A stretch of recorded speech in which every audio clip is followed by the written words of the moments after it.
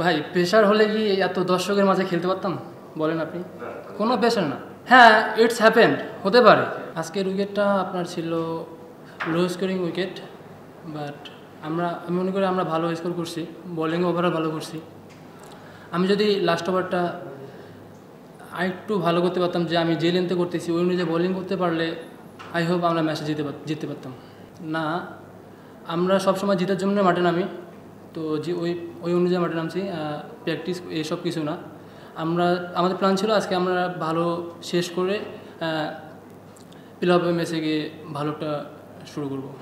তো হয়নি। আমার কাছে মনে হয় এটা আমাদের জন্য একটা সতর্ক বার্তা- আমাদের প্লে অফ ম্যাচের জন্য আমাদের ভালোভাবে প্রিপারেশন নিতে পারব।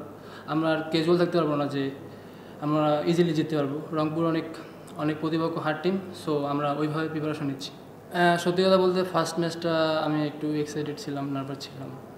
তারপর প্রথম ওভার করে উনিশ রান দিয়েছিলাম।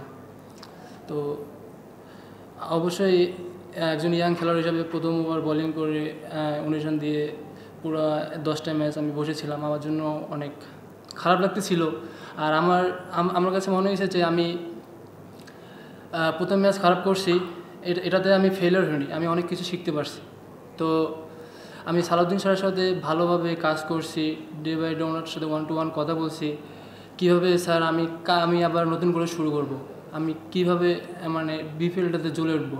তো স্যার আমাকে স্পেসিফিক রুমে ডাকছে, অনেক কথা বলছে আমার সাথে। দেখতে পাচ্ছেন এখন, আলহামদুলিল্লাহ।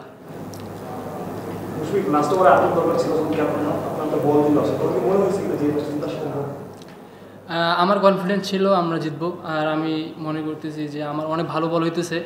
আমি যে লাস্ট তিন ওভার যে লেন্থে বোলিং করতেছিলাম যদি ওই অনুযায়ী বোলিং করতে পারতাম ওই লেন্থটাতে প্রথম বলটা যে ছয় গেলাম ওই বলটা করতে পারলে আই হোপ আমরা জিতে যেতাম আলহামদুলিল্লাহ।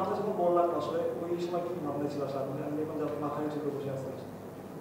না আমার ভাবনা ছিল যে যেটা আমার ভালো হইতেছে সেটাই করি দেখা যাবে। অবশ্যই আমি পেস বোলার আছি আমার তো স্ট্রেংথ জোরে বল করা। তো আমি যে লেন্থে বলিং করতে সেটা পারফেক্ট লেন্থ ছিল। মহিন ভাই বলতেছে তুমি এই লেন্থটাতে কন্টিনিউ বলিং করো।